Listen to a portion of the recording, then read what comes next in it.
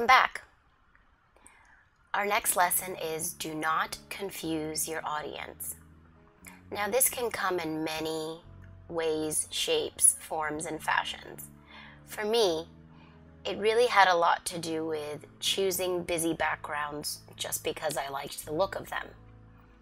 So, what's wrong with doing things this way? First of all, this image doesn't really have anything to do with revising and editing. And in order to blend the two elements on the slide, I've had to disregard my signal to noise ratio.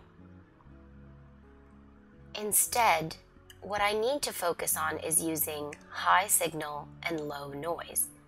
Eliminate that busy background, focus on the message at hand, connect it to that background, and you've got something that is crystal clear.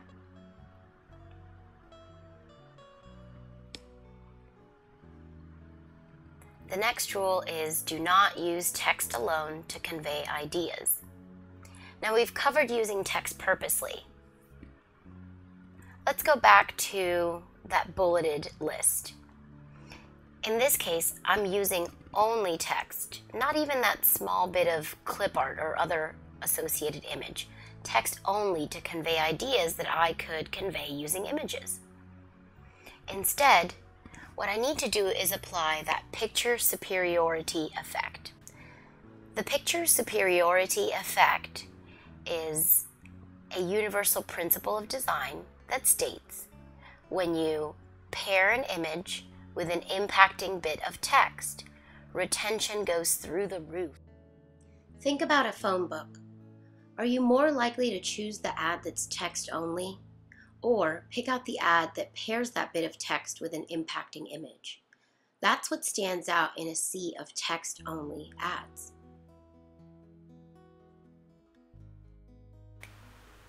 So always ask yourself, what information are you representing with a written word that you can replace with an image? Check out chapter 11 of Duarte's text, as well as Garr Reynolds' discussion of the picture superiority effect for more information.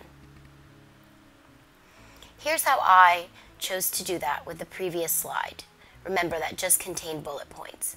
I took each of my main ideas and replaced them with an image.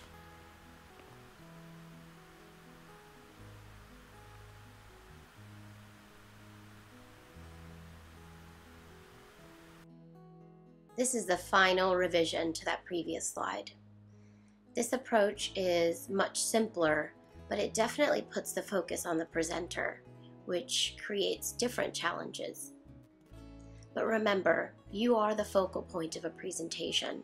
You should be the main conveyor of information. This is a presentation by one of my students in my live class. In this presentation, the student wants to persuade his audience that they should ride a bicycle instead of driving to class every day. Notice how he applies the picture superiority effect and how he integrates subtle bits of text into the slides themselves. When this student presented, he allowed himself to be the conveyor of information. His slides served as a great enhancement to that conveyor of information. Think about how much this picture says. How about this one? All in all, the focus is on the presenter. The visuals are a supplement.